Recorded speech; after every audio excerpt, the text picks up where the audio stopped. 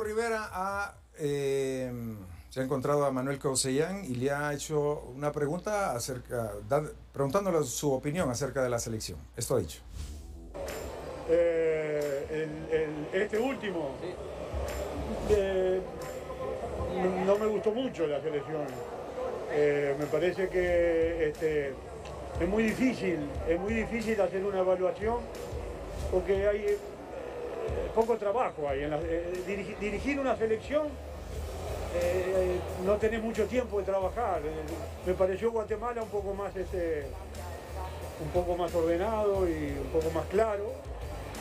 Este, pero bueno, son partidos de fogueo y hay que, hay que decir lo que uno ve, no lo, lo políticamente correcto, que sería, no, el de ayer, sinceramente, este, Guatemala mereció mejor suerte que, la que tuvo, pero, pero después al final de todo el resultado es lo que vale.